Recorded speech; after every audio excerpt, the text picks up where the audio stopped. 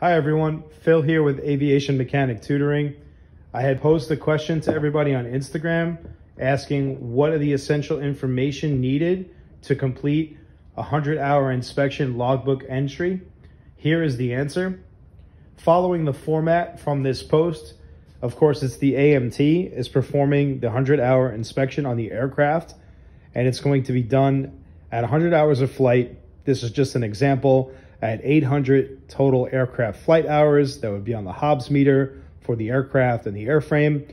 It's done on January 18, 2024, today, where obviously this entry is in the maintenance logbook. Why? It's to prove compliance and ensure the airworthiness of the aircraft, of course.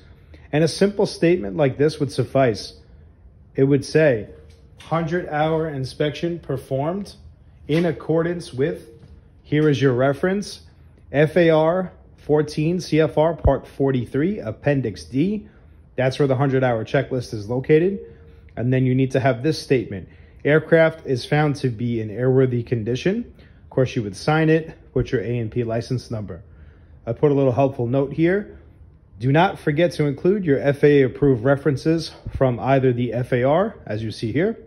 The AC 4313-1B is an acceptable FAA approved reference for any maintenance tasks performed on the aircraft and or the aircraft maintenance manual for that particular aircraft. These are all the basic components you would need for a write-up. This is a very important ACS skill that a lot of students seem to struggle with on their oral and practical. Knowing your basic information, having the correct reference is essential. Any questions, feel free to comment, reach out, DM me, email me. I'm here to help you guys. Keep studying. Stay tuned for more exclusive content such as this and have a great evening. Take care.